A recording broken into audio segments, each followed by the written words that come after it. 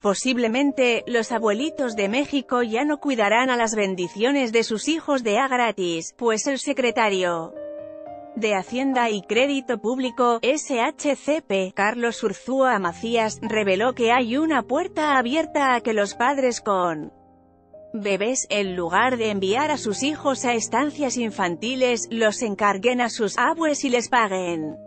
Durante una reunión con senadores del partido Movimiento Regeneración Nacional, Morena, el titular de la SHCP explicó que dicha probabilidad se debe a un recorte presupuestal a las guarderías. La Secretaría del Bienestar está trabajando en la solución del problema que es menos complicado de lo que parece. En medio del desconcierto que prevalece por el recorte de 50%, a las estancias infantiles, arroba Carlos Urzúa SHCP dijo que los padres podrían decidir, inclusive, dar el dinero a los abuelitos de los niños para que se encarguen de su cuidado. Https t.co barra rffxsim rformacom arroba reforma.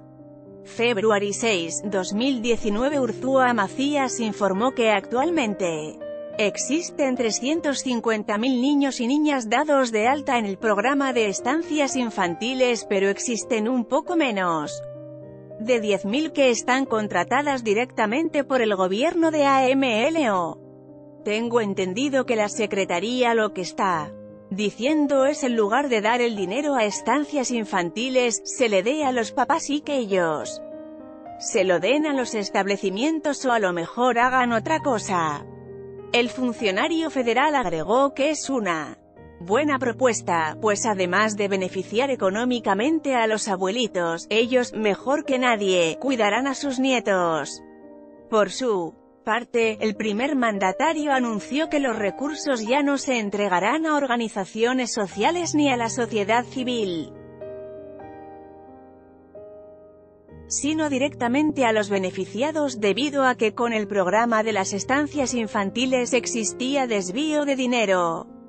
Con información del Universal y Reporte Índigo Foto, Ricardo Castellán, CUR o anímate a comentar. Queremos saber tu opinión. Comentarios Powered by Facebook.